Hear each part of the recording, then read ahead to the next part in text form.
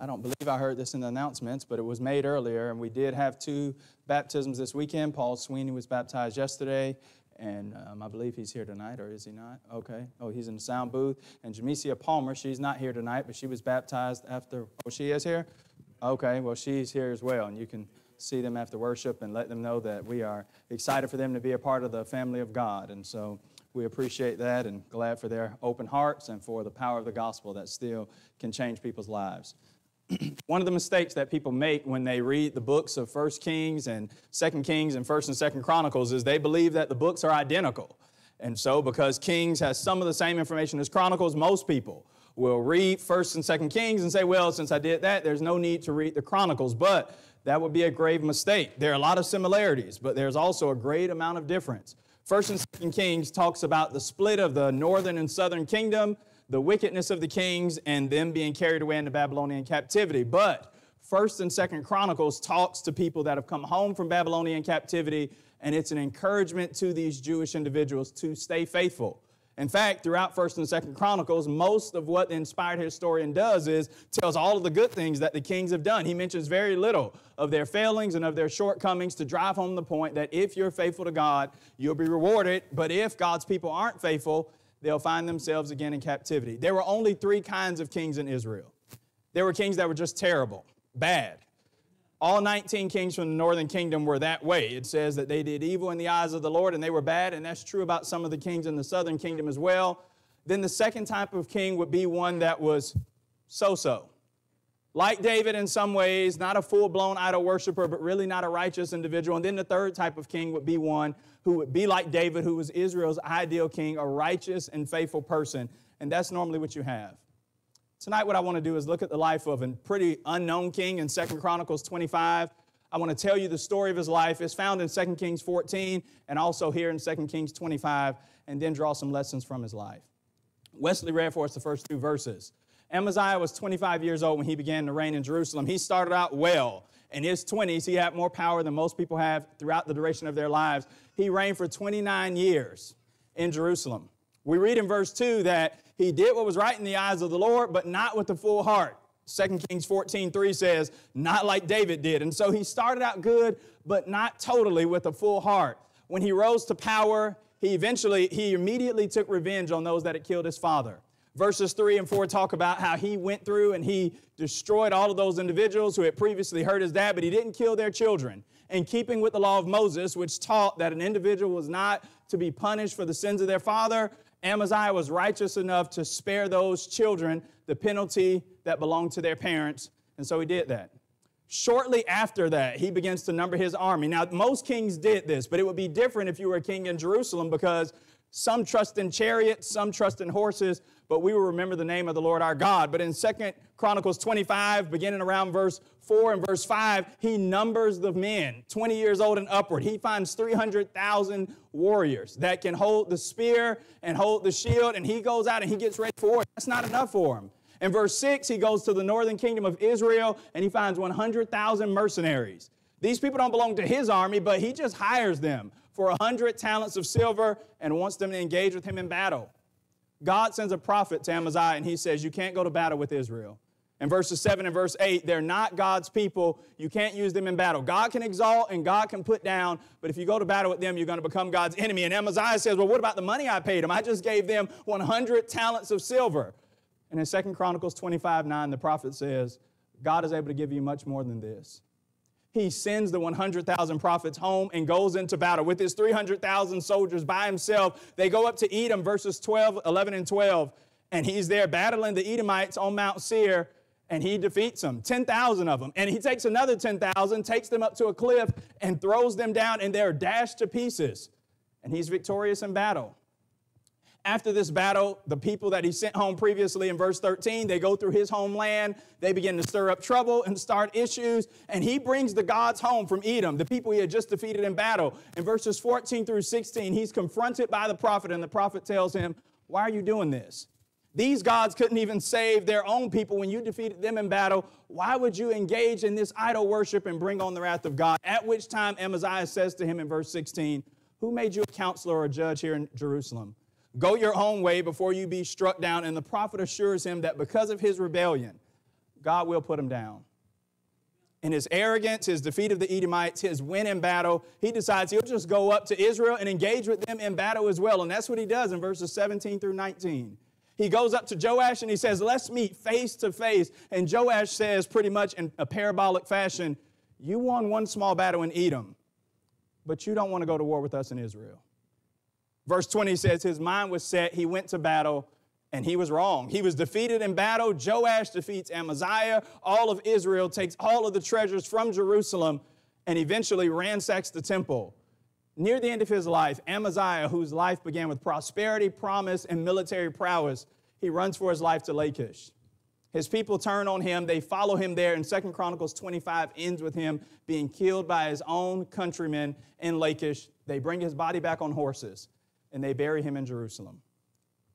Why is this story in the Bible? Why is this account of his life in the Bible? He was the eighth king in Judah. Not much really special about him in and of himself, but I believe there are at least six lessons we can learn tonight. I want to give us these lessons to launch us out into our week so that we, like the people that initially read this when they came home from Babylonian captivity, might know if we're faithful to God, we have his favor. But if we turn on him, we become his foe, and like Amaziah, we'll suffer the consequences. Number one, Amaziah teaches us that God wants wholehearted devotion. When he started out, verse 1 says he was 25 years old when he began to reign. He reigned 29 years in Jerusalem. But verse 2 is the one. This isn't just some introductory information about his life. This isn't merely biographical information. It is the trajectory for the way that he lived throughout his time as king. He did what was right in the eyes of the Lord, yet not with his whole heart. 2 Kings 14 and verse 3 says, He followed the Lord, but not wholeheartedly like David. He was okay, but he wasn't totally faithful, and that was his downfall. As we just rehearsed, in six scenes after this verse, he's on his way down. He numbers the people, not trusting in God. He goes down to Edom, brings back their idols, all the way until he's eventually killed because he had half hearted devotion. The Bible drives this point home over and over again that what God wants from you and what God wants from me is the entirety of our being. Seek first the kingdom of God and his righteousness, Matthew 6 33, and God will give you everything else that you need. Jeremiah 29 13, mark this verse down. Jeremiah tells the people, You will find me when you seek me with your whole heart. Why not just say, Seek the Lord? Well, God knows that you and I are prone on occasion to only give God a little bit of who we are, and God won't take that. Jesus says the greatest command is to love the Lord your God with all of your heart, with all of your soul, with all your mind, all of your strength, and love your neighbor as yourself. Matthew 22, 37 through 40. A half hearted job won't do. And God wants our whole heart. Amaziah gave God half of his heart, I would argue the wrong half, and it didn't fare well for him, and it won't for us. If we go into our religion, if we go into our Christianity and see what's the little amount? What's the fewest that I can give to God in hours of service and dedication and still be pleasing to Him? We might wind up like Amaziah.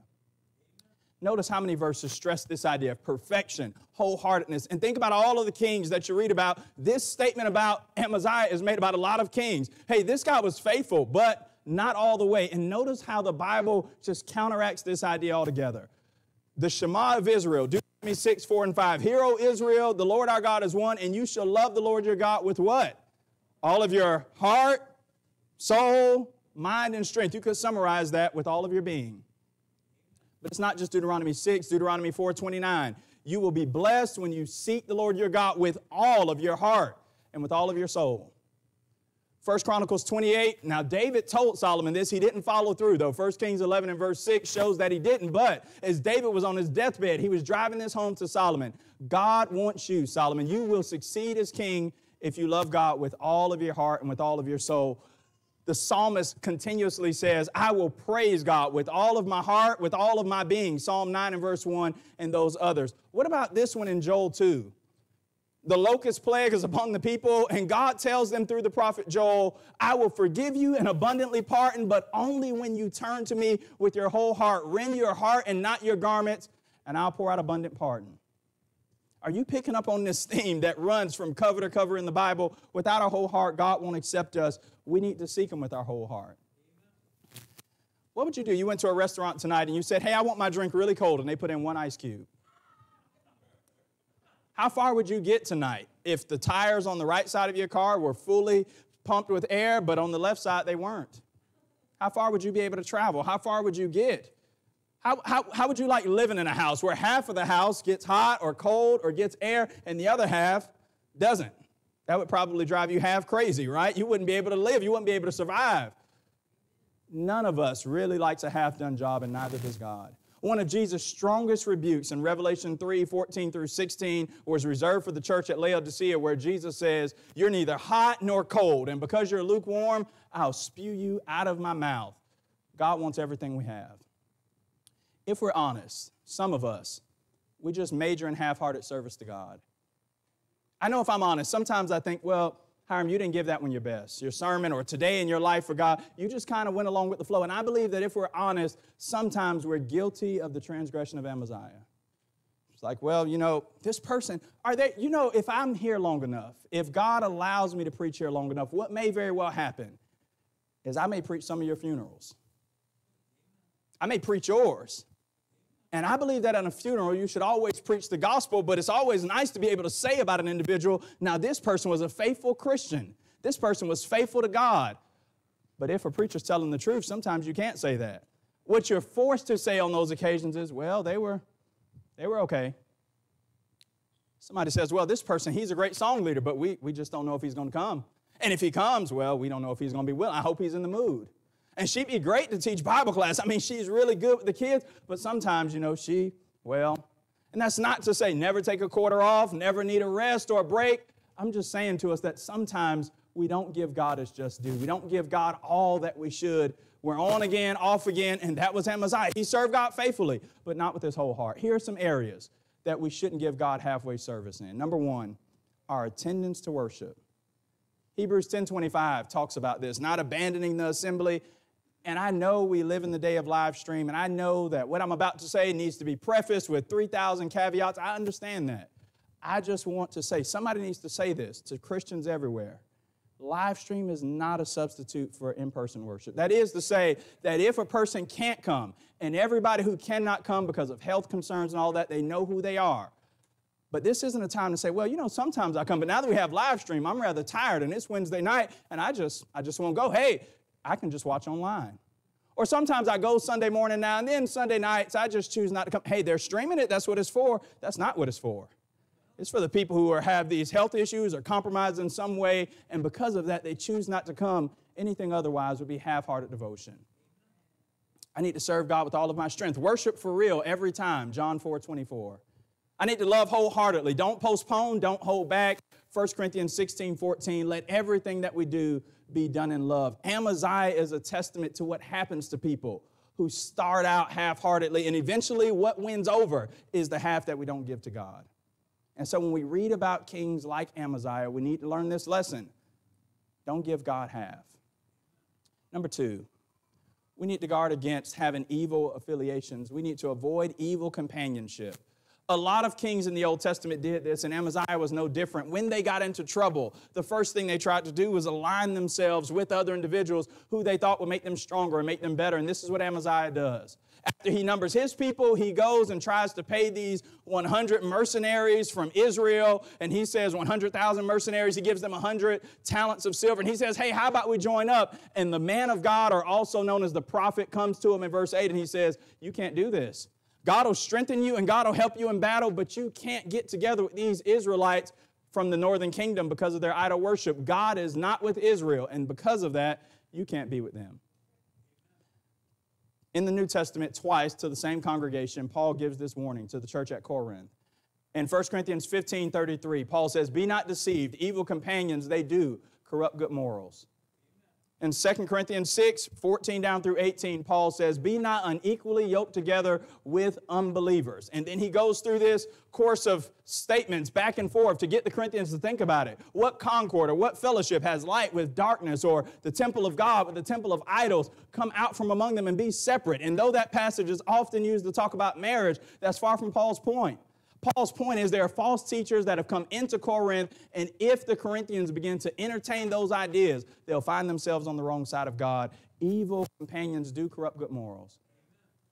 And I know God doesn't want us to be hermits or to get away from everybody in the world. We can't convert people if we do that, right? We can't go outside of the world. But at the same time, we need to be very careful about the way that we can be influenced by other people. Think about people in the Bible that were strong and good and righteous up until they found themselves in situations where the people they were around began to cause them to behave differently because they gave in. Solomon started off great. Just read about the way Solomon rose to power until he married foreign wives. And Ahab was a great guy, 1 Kings 6, 16, until he married Jezebel. And Jehoshaphat was probably a good king 80% of the time, but he just had this idea of fraternizing over and over again with other kings who like to worship idols. See 1 Kings 22. They were often affected by the kind of people they hung around. And the message for us as Christians is this we're in the world. Paul said if you want to get away from sin, you pretty much have to go outside of the world. The admonition to Christians is have no fellowship with the unfruitful works of darkness. That is, don't engage in sin with them, but be very careful because sometimes we're social sinners, right? People talk about social drinking. Well, I'm pretty sober until I get around other people. Sometimes, you know, hey, I don't curse. But if people on the job are doing it, hey, I, okay, so I slide in one, but I do a low level, you know, a D word. It's not as bad as the big stuff. I just kind of, you know, Evil companions corrupt good morals.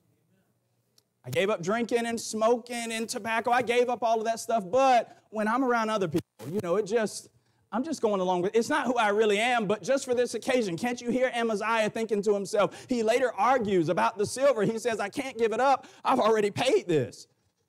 Evil companions corrupt good morals. And the Bible is warning us to be careful that if we must be around other people that don't share our allegiance, and we will, that we must always be the ones on the offense, exerting our influence and not receiving the influence from them. We must guard ourselves. We shouldn't think, well, everybody else is influenced by that stuff, but preacher, I'm strong. It won't affect me. You know how long I've been a Christian? We all can fall if we're not careful. And we need to be warned. Number three, God gives more than man.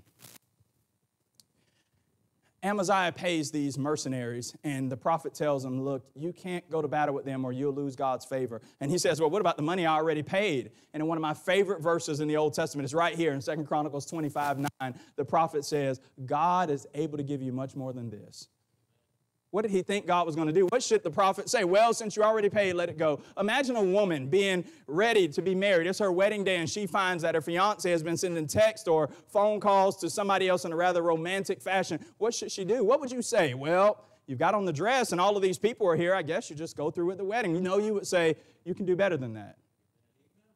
I knew a preacher one time. He was bringing a man in for a gospel meeting, and on his way to bring the guy in. The meeting was a few weeks out. Somebody said, Now, I don't know if you know this, but this man, he teaches false doctrine, and you should call him and talk to him, and maybe he's repented, but if not, I don't think you should bring this individual in. At which time the preacher said, Well, I can't uninvite Brother X. I've already told him to come. I'll just have to repent later.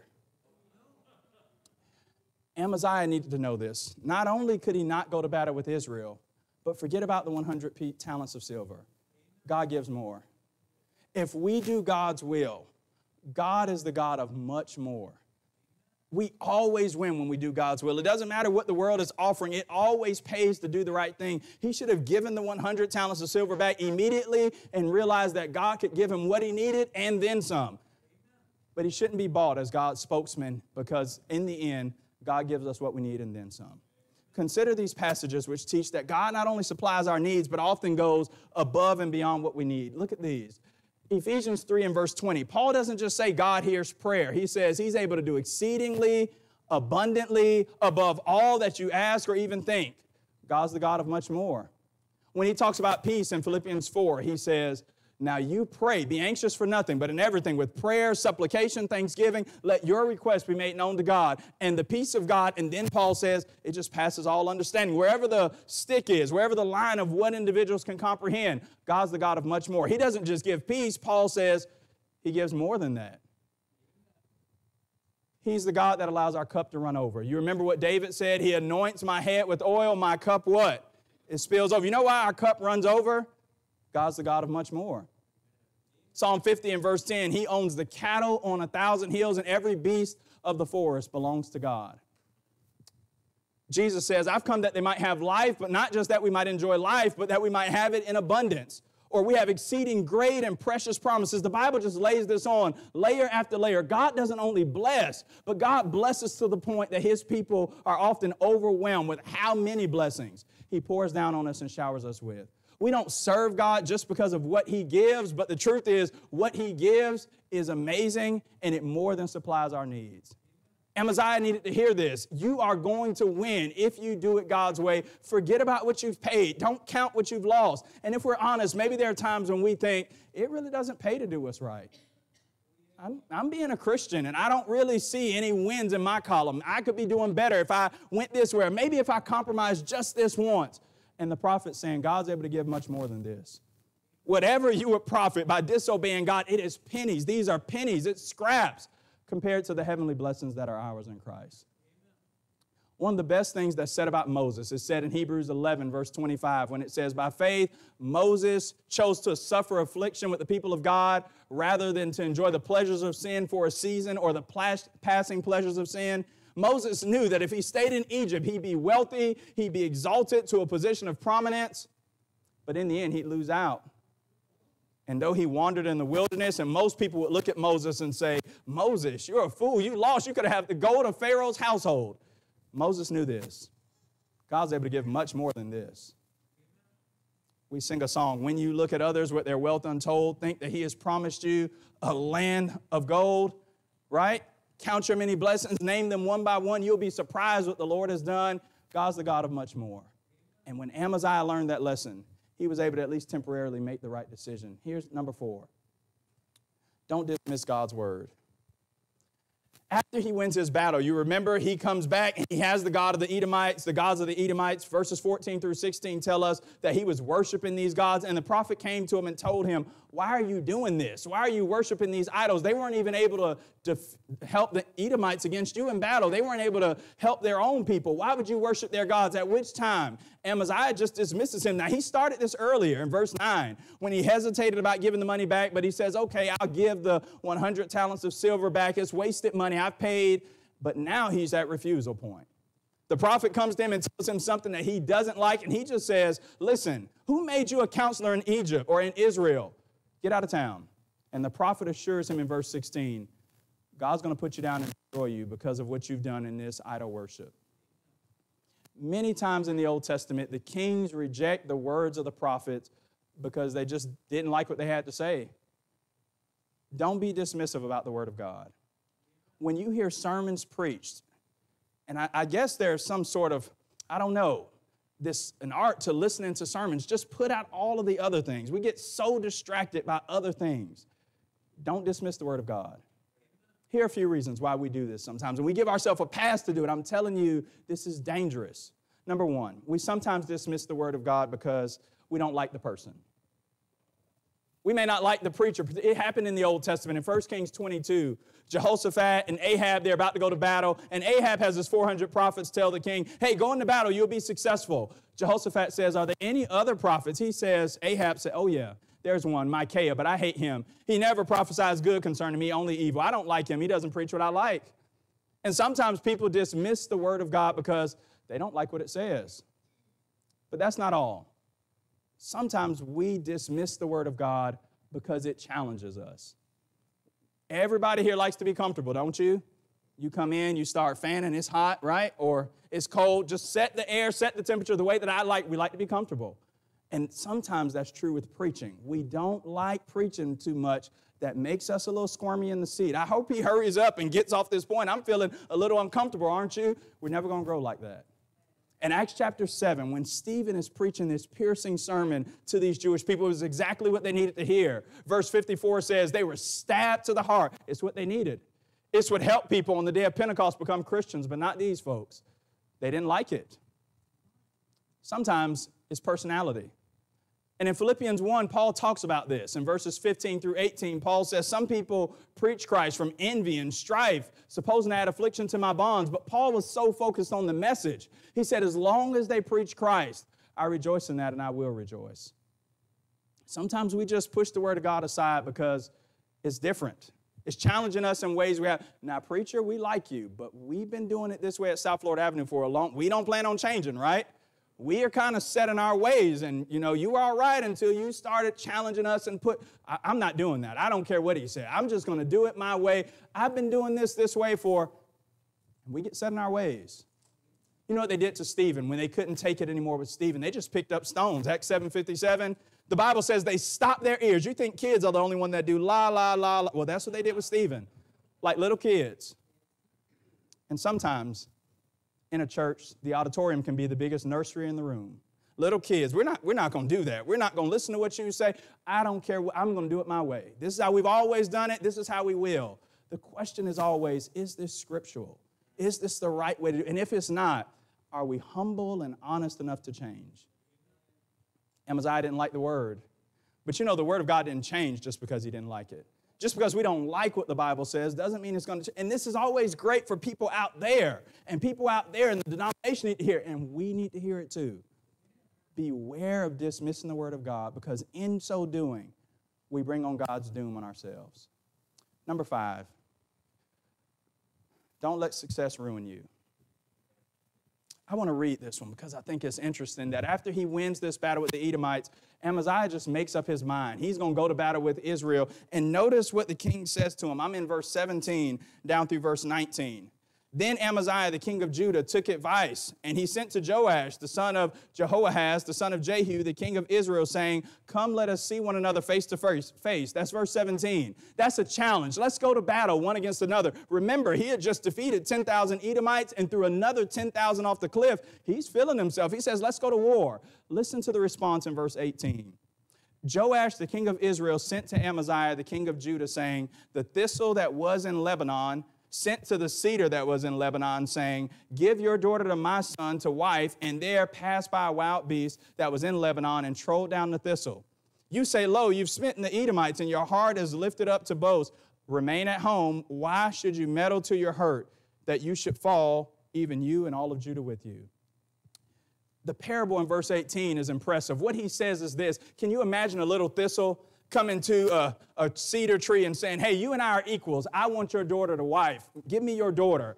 He's saying, You think that you and I are equals because you won some little battle with Edom. No, we're the wild beast that will come along and destroy you from Israel. He's saying, Now you won a little battle, but don't let pride get to you. You won't be successful against us in battle. And Amaziah went to battle with him, and you know how it ends. They were destroyed. We should beware of letting pride get to us. Proverbs 16, 18 says, Pride goes before destruction, and a haughty spirit before a fall. We need to be careful that we don't get lifted up with pride because God is able to bring us down and to bring us low. And that's what happens with Amaziah. He learns this lesson that just because you've enjoyed some minor success in some ways, he needed to remember do you know why he won the battle against the Edomites? God was with him. Jim gets an A for the day. That's right. God was with him. That's why he won the battle, right? That's what the text says in verse 8 that God's able to exalt people and bring them down. The only reason why he was successful was because God was with him. And when he departed from God, he was in bad shape to fight anybody. And he forgot that, and it led to his downfall. People wonder what Captain E.J. Smith was doing April 14th, 1912. They say at about 1140, he came out and he said, What did we hit? At, what time, at which time? One of his other officers said to him, An iceberg, sir in 40 years on the sea. He had never really gotten into any accidents on the sea, neither were any credited to his account. He had been pretty accident free. But in a few hours after that time, he was about to be involved in one of the greatest sea disasters of all time. 15,000 passengers and shipmates of his would die on the Titanic. There are so many conspiracy theories and legends about what happened to Captain Smith. Some people say he jumped off board with a baby in hand. And some people say that maybe he survived, and there are up to five various stories about how he died. Some make him sound heroic and some humiliating, but here's the point. The 40 years of his clean track record and the boast that the Titanic made as it went out to sea, that not even God could sink this ship, he couldn't rely on any of that as the ship went down. And maybe sometimes in our arrogance, we think to ourselves, well, nobody's able to bring me down. We better remember who the true captain of life is. Be still and know that I'm God. I will be exalted among the heathen. Psalm 46:10. I'm persuaded the more I read the Bible, if it takes an iceberg to put us in our place, God may very well do it. Ask Edom in Obadiah verses 3 and 4. Edomite said, Who can bring me down? God says, I will reach to the cleft of the rock and bring you down. In Isaiah 14, Babylon is exalted, and he calls the king of Babylon Lucifer, and he says, I will bring you down and put you in your rightful position. God can do it to us. In the margin of one of my Bibles, in Hosea chapter 13 and verse 6, I have this statement written Prosperity begets amnesia. In Hosea 13, 6, the passage is about this idea that when Israel was in the wilderness, they didn't know God, God supported them, but when they got to the promised land, they got fat and they ate well, and you know what happened? They forgot God. And history shows that while prosperity in and of itself is not sinful, often a blessing from God, we struggle. You remember when you just wanted to serve God? You just did what God said because God said you didn't need much, you really didn't complain a lot, you obeyed the gospel, you were just a Christian. Whatever anybody said, you would do it. But now, we kind of get picky. Just wanted to do whatever we could to serve and work in the Lord's kingdom, and then over time, pride gets to us. It gets in the way. Paul told the Corinthians, What do you have that you haven't received? And if you received it, why do you behave as if you didn't? 1 Corinthians 4 and verse 7. Beware of letting what we term success ruin us, because it can. Solomon was the richest man in all the world, but he forgot God with his wives and all of his prosperity, and he died a pitiful man because of that. Now, here's the last one. Number six from the life of Amaziah. Our success is connected to our relationship with God. The text tells us in verse 27 not only did he try to run to Lachish, and there was he killed by his own countrymen and brought back on horses, but it happened when? When he turned away from the Lord. If you turn one page in your Bible in Second Chronicles 26 and verse 5, his, his son Uzziah, it says that as long as he sought the Lord, God made him to prosper. And that's true about you and me. That's to, to the degree that we'll prosper. As long as we seek the Lord, as long as we're on good terms with God, we'll prosper. If we forsake the Lord, we won't. I know there's the health and wealth gospel that says if you obey, God will pay. That's not true. But I want to tell you something that's as kindergarten as anything in the Bible. If you do what God says, God will bless you. That's just what the Bible says. Not always monetary, not always in material things, but God will bless you. And if you disobey God, you'll be punished. That's just what the Bible teaches. In a general sense, maybe not now, but in eternity, you'll be punished. In Deuteronomy 28 and 29, Israel has these parallel situations laid out for them where God says, If you do what's right, you'll be blessed more than you could ever, ever fathom. And then God turns and spends the majority of his time talking about the curses where he says, If you turn away from me, you haven't seen the kind of turmoil that you'll experience. You'll be practicing cannibalism as you eat each other's children and starvation. The nations will run you out, one person versus a thousand. Life will be terrible. That'll happen. Your success will end. The psalmist said, Blessed is the man that walks not in the counsel of the ungodly, nor stands in the way of sinners, nor sits in the seat of the scornful, but his delight is in the law of the Lord. And in his law does he meditate day and night, and he'll be like a tree planted by the rivers of water. Whatever he does, it'll prosper. And you know why? Because he's linked to the Lord. And that's true about our success to the degree that we're linked to the Lord, is to the degree that we'll succeed. Amaziah had a great run as king up until the point that he forsook God and things started going downhill for Amaziah the moment he said, uh, I've got all that I need from God. I can do it on my own now. You see this happen with athletics and with superstars, right? They have these humble beginnings, then they get the money and the power, and then they don't need them anymore. And sadly, sometimes you see it happen with Christians. God, if you just help me, I'm willing to serve you. I want to be your disciple, and then I can take it from here. We never can take it from here we always need God's help. And let us not be like Amaziah and find that out the hard way. At 25 years old, Amaziah was living a life that very few people would ever enjoy at his age. But he died at 54, on the run, in another country, in another place, with the hatred of his own countrymen behind him. And they drug him back, not in chariots, but on horses, and they buried him in the city of David. I don't know if anybody here knows sign language, but sign language, I wonder, where did we get this from? But sign language for so so is this, right? If you said, well, how was Amaziah's life? Eh, he was all right. He was, that's it. I may not do your funeral. You may, do, you may be present at mine. And the truth is, it's really not going to matter what the people that are living say. You can't preach a man out of hell or into heaven. There's nothing we can do about that. But our legacy will live on. And much like Amaziah was once alive and vibrant, and now he's a chapter in a page, one day you'll be too. And it's not going to do to say, well, how, what kind of Christian was she? She attended South Florida Avenue. Was she faithful? And you say, well, she was all right. Not with her whole heart. Not, not, a, not a total heathen. Maybe sometimes Sunday morning, Sunday nights on occasion.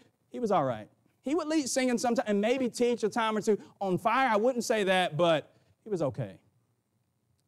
May half hearted devotion die among the people of God. None of us are going to be perfect, but we can't give God half of our heart because every time we do, we always give him the wrong half.